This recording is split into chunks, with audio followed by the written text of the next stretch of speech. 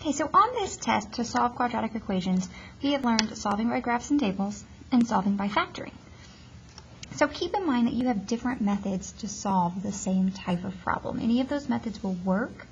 Um, it just depends on your preference, what you're comfortable with, and how the problem is set up. So for example, this first one, what are the zeros of this parabola? I know that a zero means an x-intercept. Sorry, it's too late and apparently they want me to go home. All right, um, so x-intercept. So I'm looking on this graph and there's never an x-intercept. This doesn't cross. So I know that there's not one zero at negative 3. There's not one zero at 5. It has no zeros. It cannot be factored. Okay? That's what it means when there's no zeros. For the next one, a table of values for quadratic, quadratic function g is shown. State all of the solutions for where g of x equals 0. G of x simply means y. Where is the y value 0? So looking over here, I see a y value 0 there and a y value 0 here. There are two solutions. 90% of the time there are going to be two solutions. So it is at negative 2 and at 3.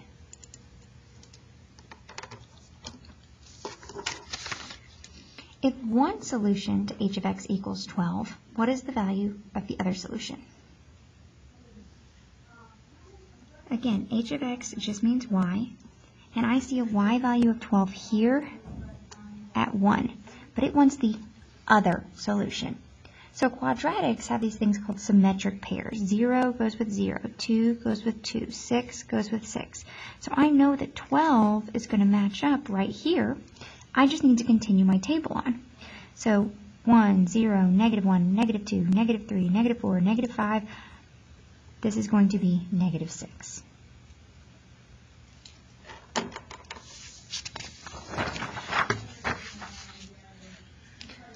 Here's another similar question. One of the solutions is that f of x equals 17.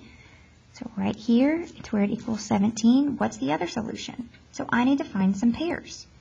2 goes with 2, 5 goes with 5, 10 would go with 10, 17 would go with 17. So now I have to go back two spots. This would be negative 6. This would be negative 7.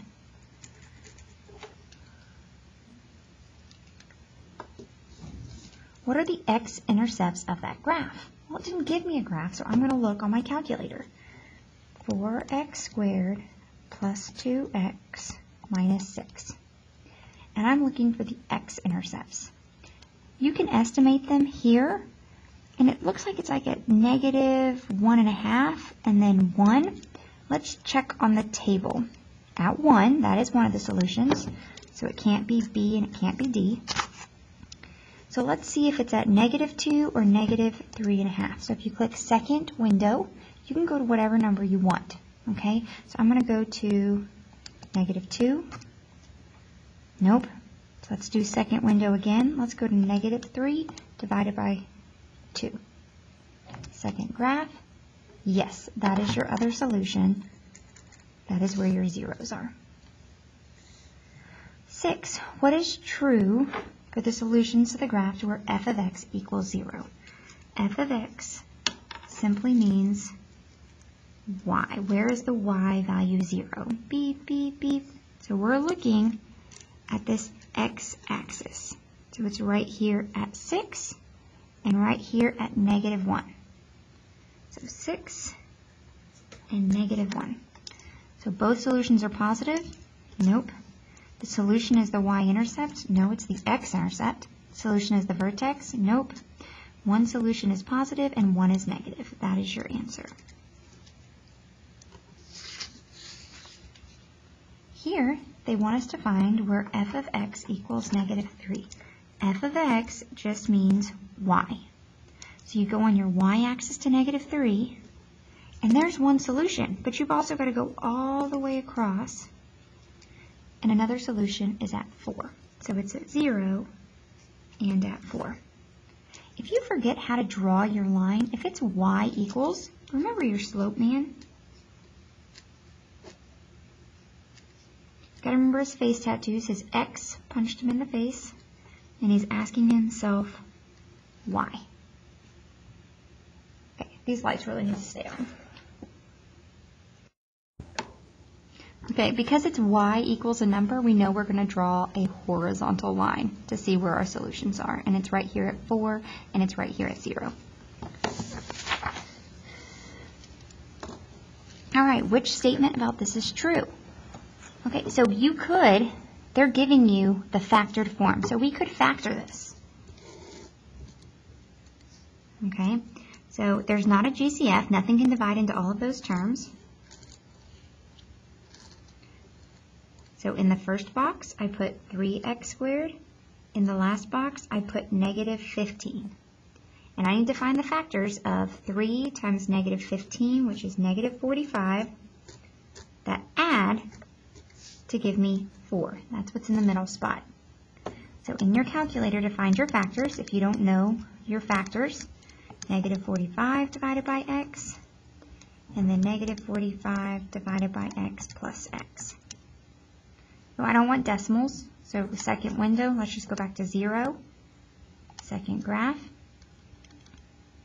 and I'm looking for a positive 4 over here, right there at 9 and negative 5. So 9x, negative 5x.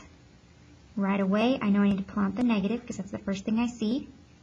The factors of 5 are just 5 and 1. 15, it's 5 and 3. They both share a 5. 3 is 3 and 1. 9 is 3 and 3. They both share a 3 and an x. These both share a 1 and an x.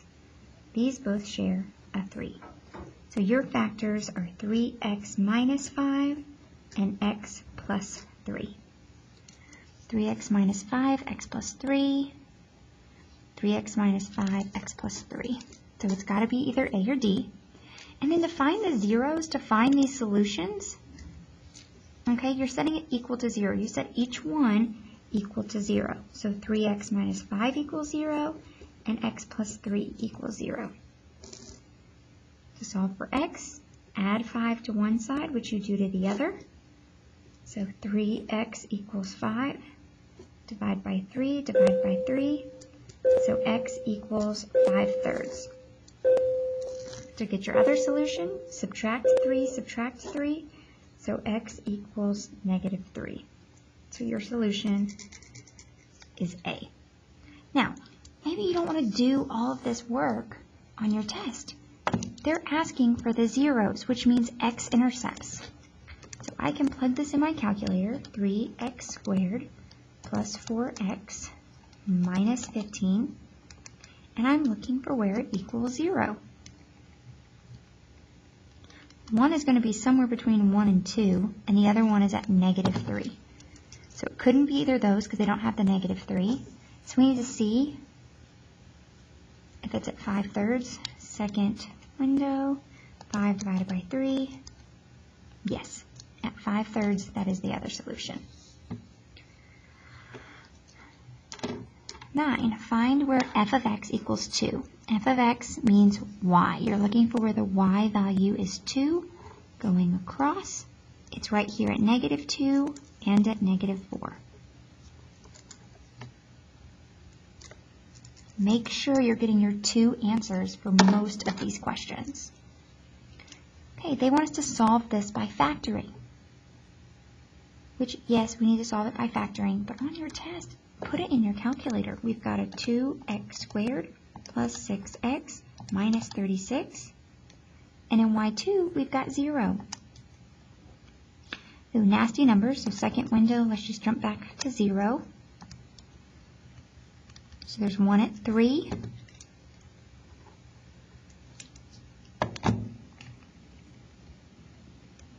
And negative 6. Now, I am going to practice factoring because I know that y'all need help with this. I first noticed that all of these numbers can divide by 2. So if I'm going to do it to this side, I'm going to do it to this side. So we get x squared plus 3x minus 18. And 0 divided by 2 is just 0. So now I'm going to factor this. In the first box, I put x squared. In the last box, I put negative 18. 1 times negative 18 is negative 18. It needs to add up to give me 3. So you can do it in your calculator. Negative 18 divided by x. Negative 18 divided by x plus x. And you're looking for a 3 in this column, which is happening at negative 3 and 6. Negative 3x, 6x. This is just 1 and 3. This is 3 and 6. Right away I know to pull out the negative, and they both divide by 3. x squared breaks into x and x. This is a 6x and this is an x, this has to be a 6. So your factors are x plus 6 and x minus 3. When you set each one equal to 0, it's going to give you the opposite sign. So your x equals a negative 6 and a positive 3, which is what I got for my calculator. Which equation has solutions of x equals 4 and x equals negative 2.5? You could plug these in your calculator and see which one gives you your answers. x minus 4, x, oh, 5x plus 2, and I need it to equal 0. So I needed the solution to be at 4, Yep, that works. And negative 2.5. Second window, negative 2.5. Nope, that's not it. Okay, try 2x minus 4 and x minus 2. Second trace, oh, what am I doing? Okay, so I need it to be at negative 2.5. Nope, Okay, so we've got x plus 4 and x minus 2.5. Nope, don't match it, negative 2.5. Um, did I do this one? x minus 4, 5x plus 2.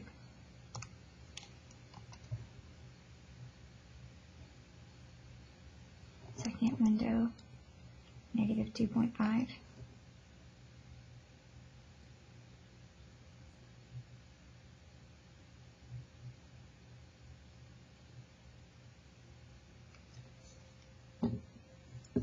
so this one doesn't have an answer.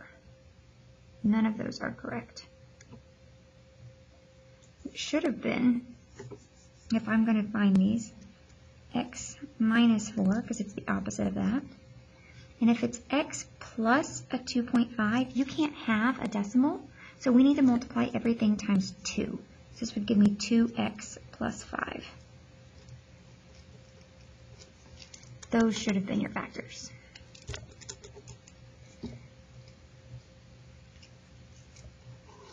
So normally on your test, those will work out. Okay, on 12. Which equation can be used to find the roots? Oh man, this is a lot to have to do, right? We need to distribute this negative 2. So we get 8x squared minus 3. When I distribute this negative 2, negative 2 times negative 3 is a positive 6x minus a 4x. Okay, well we can combine these on this side. Okay, so 8x squared minus 3 equals 6x minus 4x is 2x. Then we need to set it equal to 0. So I'm going to subtract the 2x, subtract the 2x. So I get 8x squared minus 2x minus 3 equals 0. And now I can factor this. So in the first box, I put the 8x squared. In the last box, I put the negative 3. So I need to find the factors of 8 times negative 3, which is negative 24. That add to give you a negative 2, which is going to be a negative 6 and a positive 4. Negative 6x, positive 4x. Right away I know to pull out the negative. Both of these numbers are divisible by 3. Both of these numbers are divisible by 4, and then x, 2, and then x, and then 1. So your factors are 2x plus 1 and 4x minus 3.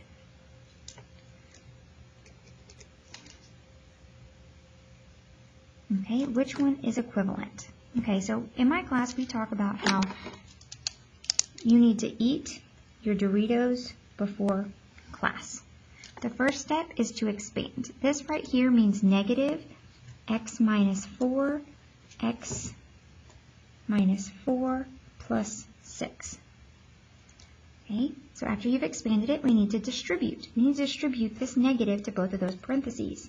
So we get negative x plus 4 times x minus 4 plus 6. The B stands for the box. I'm going to do the box with these parentheses, negative x plus 4 on this side, x minus 4 on this side. x times negative x is a negative x squared. x times 4 is 4x. Negative and a negative is a positive 4x. Negative 4 and 4 is a negative 16 add the diagonal. So my box gives me x squared plus 8x minus 16. But you're not done. You've got the c, and that's to combine it with this original plus 6. So your equation is x squared plus 8x minus 10. I'm sorry, negative. This is negative. Negative x squared plus 8x minus 10. So this one right here. To check our answer, you can put the original, so negative x minus 4 squared plus 6. And in y2, I'm going to put negative x squared plus 8x minus 10. Those are nasty numbers. Let's do second window. Let's go to 0. And every single thing in this table is the same. That's how we know we did it correctly, because they are equivalent. They're the same. Which equation shows this line shifted three units down? Remember I had over? To make a vertical change, it needs to be outside the parentheses, and it's exactly what you think. We are going to subtract 3 from that y-intercept. So y equals 3x minus 5. If you want to check it, they're telling us 3x minus 2, and asking us to shift it down 3. So 3x minus 5, this should be shifted down. There's your original. There's your new one. It was here, and now it's here. We shifted it down. All right, what is the equation of the line perpendicular? When it's perpendicular, we have to flip the sign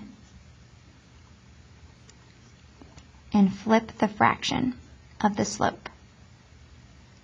So if right now the slope is 2, we need the slope to be a negative, and instead of 2 over 1, we're going to make it 1 half. So we need the slope to be a negative 1 half. So it can't be b and it can't be a. This is point slope form, okay? So y minus blank equals blank, parentheses x minus blank. If I want it to go through this point, so we know the slope is negative 1 half, the y value is negative 7. The x value is 2. What makes Miss Smith unhappy? This double negative right here. So I change that to y plus 7 equals negative 1 half x minus 2, which matches this one right here. All right, the Kutoch family took a trip to Disney this summer. There were nine total people. Each child ticket X was $37 and each adult ticket Y was $54. They spent a total of $452. Write the system of equations to represent the situation. Nine people, that's your X and your Y. People plus people equals people. When we add money to it, 37x plus 54y, money plus money has to equal money. And they're telling us that the X was $37 each, which is why the 37 went with the X, and the 54 was Y, was each adult ticket was $54 each. So X plus Y equals 9, 37X, 54, right here. what is the vertex? The vertex is the middle of the rainbow. So when you match up 2, 2, 5, 5, in the middle is this negative 3, 1. That is your vertex. If you were talking about the axis of symmetry, it's just the x equals of the vertex, which is negative 3.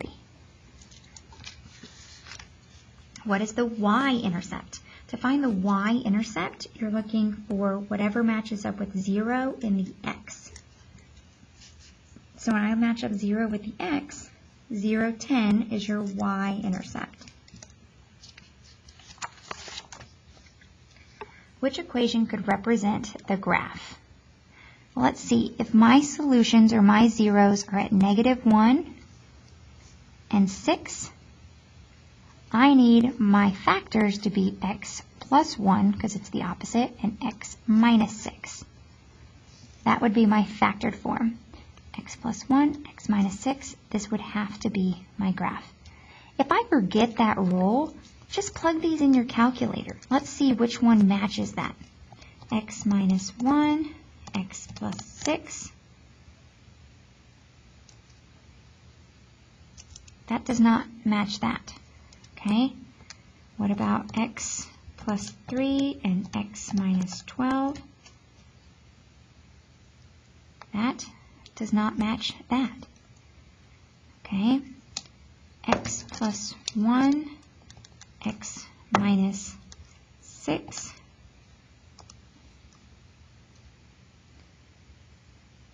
Yes, that matches. That is your solution. All right, what is the first step to solve this by factoring? Okay, so we just talked about this on Monday of this week, that to be able to solve it by factoring, you have to have it set equal to 0. Well, this doesn't have it equal to 0. To get that equal to 0, you have to subtract the 15. Subtract 15 from both sides would be your answer.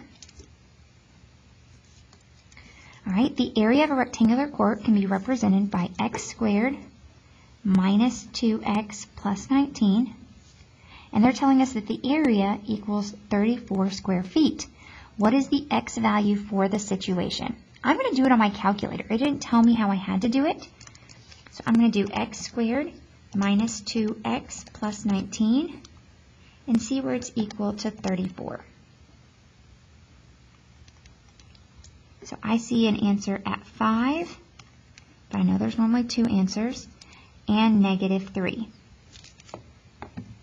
So does that mean that's my answer? Because I see a 5 and a negative 3. The situation. We're talking about area. We're talking about a court. So that means this is distance. Can you have a negative distance? No, you can't. So the answer is only going to be that positive value. On number 22, y'all haven't learned quadratic formula yet, so you can use whatever method you want to solve this. I'm going to use my calculator. So x squared plus 4x minus 40, and you're looking for where it equals negative 8. There's one here at negative 8.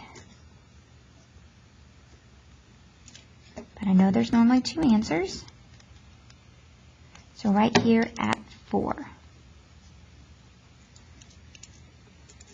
Now, let's say that I don't have a calculator at home, so Ms. Smith, I can't do this. Yes, you can. You can do it by factoring. First, we have to get it set equal to 0. To get rid of a minus 8, you add 8, add 8. So we would get x squared plus 4x minus 32 equals 0 then you can put it in the box. x squared in the first box, negative 32 in the last box. So we're looking for the factors of negative 32 that add to give you 4. And it's going to be an 8 and a negative 4. So 8x, negative 4x. Right away I know to pull out the negative, and that's a 4. This breaks into x and x, so this has to be 8. So your factors are x plus 8, x minus 4 equals 0. You take each factor and set it equal to 0. So to solve this for x, you subtract 8, subtract 8, x equals negative 8. add 4, add 4, so x equals 4. Get you the same solutions. All right, for the function, which equation below represents f of x? You could just plug these in your calculator and look at them. x squared minus 6x plus 8. Let's see. It's hitting at 2 and it's hitting at 4. Let's use the y-intercept 0, 8. Yes, it is. That looks good to me. Okay, let's try x minus 3 squared minus 1. 0, 8. 2040. That looks good. So right away I know it's got to be all of the above. But let's just check this last one. x minus 2, x minus 4. It's got the point 0.08, it's got 2, 0, it's got 4, 0. Yes, all of the above match. Now, let's say I'm at home. I can pull out my zeros from here. This has to be 2 and 4. Yep, that's what we've got. This is vertex form. You can pull out your pull out your vertex. Your vertex is at positive 3, negative 1. If you remember I had over, inside the parentheses is the opposite, so the x value becomes a positive 3. Outside the parentheses is exactly what it says, so this negative 1 is stays a negative 1. And my vertex is at 3, negative 1 standard form, you don't know how to graph from standard form, but if I know that those two are correct, it has to be all of the above. All right, write the equation in slope-intercept form. This is what we did at the very beginning of the year, and some of you forgot how to do this.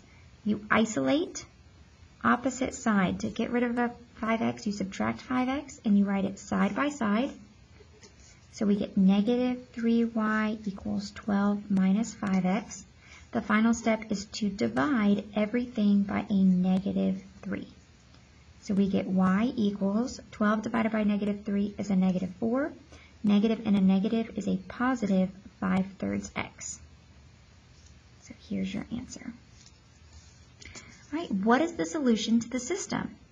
Well, to find the solution, I need to graph it. So for this first line, I'm going to start at 2, and it's an x, which just means your slope is 1. Up 1 over 1, up 1 over 1, up 1 over 1. Could also go down. Down 1, left 1, down 1, left 1, down 1, left 1. I can't graph this line until I've solved for y, so I'm going to isolate. To get rid of a 4x, I do minus 4x, and I write it side by side. And then the final step is to divide everything by negative 2. So I get y equals 12 divided by negative 2 is a negative 6. Negative and a negative is a positive 2x. So I start at negative 6.